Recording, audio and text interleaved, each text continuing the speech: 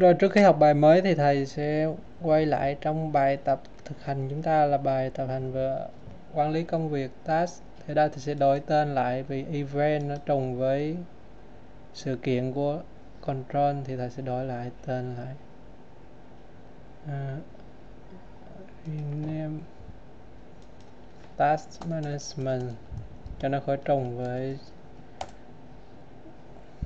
event thì mỗi control trên Windows đều chúng ta đều xử lý theo sự kiện. Rồi đây sẽ có là thì chạy thử chương trình này, nó bị một lỗi mà đa số hầu như các tất cả các em đều bị.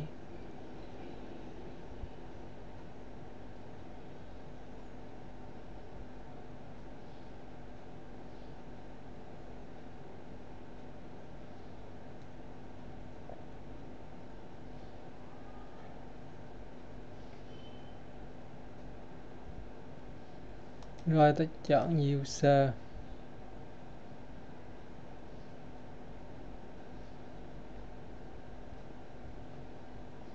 rồi, này là debug nó dừng lại.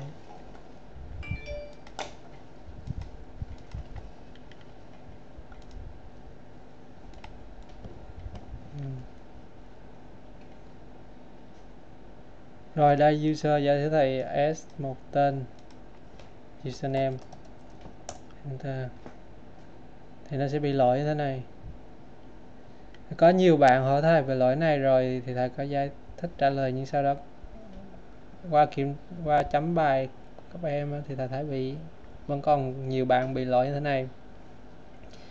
Thì vấn đề tại sao mình lại bị lỗi này?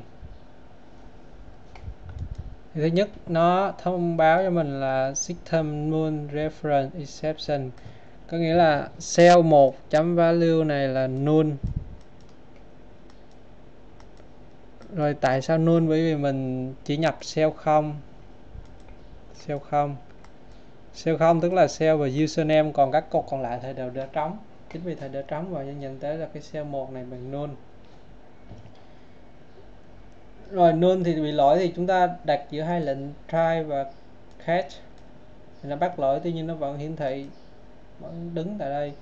Try catch này lúc trước thầy có nói các em là những trường hợp nào các em không biết nó bị lỗi gì thì chúng ta mới sử dụng try catch còn trong trường hợp này, nếu chúng ta biết chắc chắn là nó bị lỗi ở cell value num null này thì chúng ta phải sử dụng lệnh if else để kiểm tra không được sử dụng try catch vì sao? Nếu chúng ta giả sử thầy chạy lại chương trình nhé.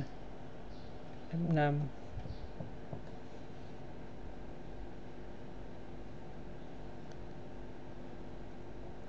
rồi thầy chọn lại là user.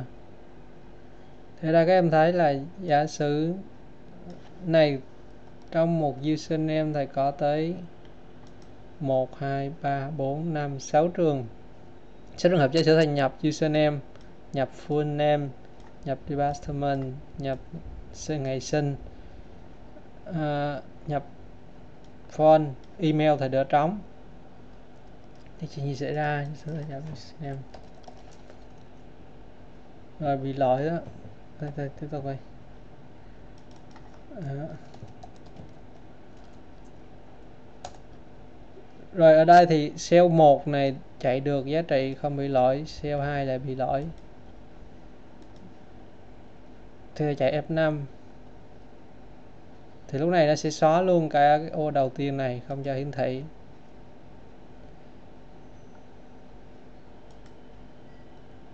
Vì mình kiểm tra mà chỉ cần một trong các trường này bị lỗi thì mình sẽ đặt current row bằng dấu hai nháy tránh lại. Thì do đó chúng ta không được sử dụng.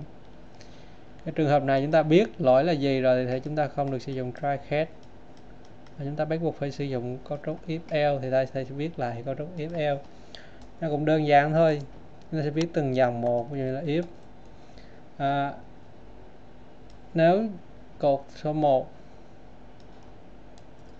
giống như username chúng ta kiểm tra lên bé không thì mình return.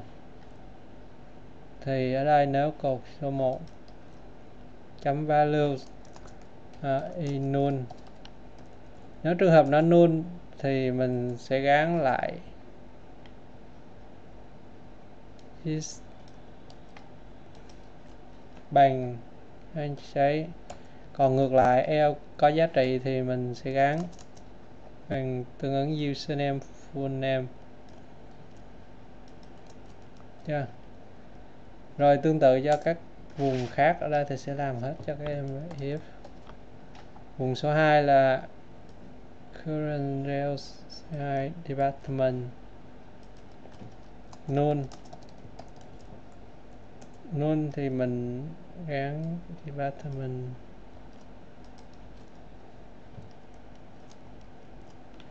Ừ.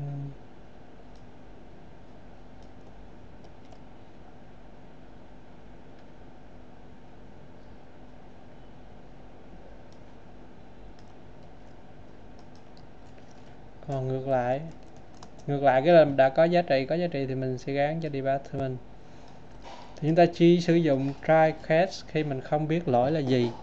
Còn nếu mình chạy đi bớt từng bước, từng bước và về mặt logic mình biết là lỗi nó chỉ là lỗi không có giá trị thì mình bắt buộc phải sử dụng cấu trúc if else để kiểm tra, điều kiện.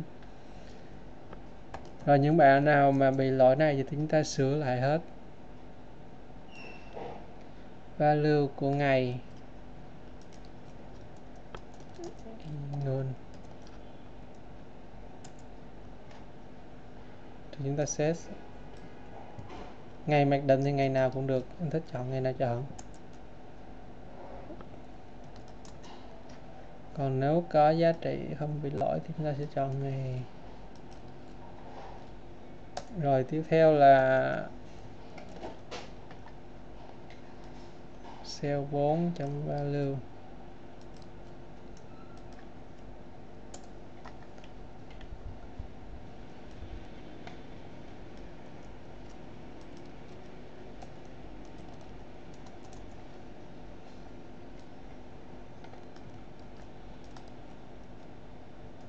và cuối cùng là n chấm value a null.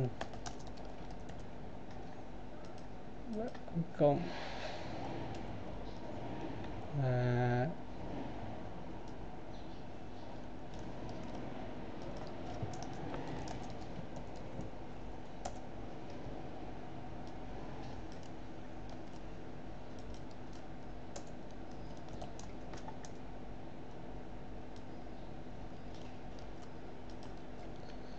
rồi đây, như thầy nói lúc trước là chỉ khi nào mình không biết lỗi là gì thì mình mới sử dụng try catch. Còn nếu mình biết lỗi debug mình tìm ra được lỗi rồi thì mình không được sử dụng try catch. Thứ nhất là mình biết lỗi cái nào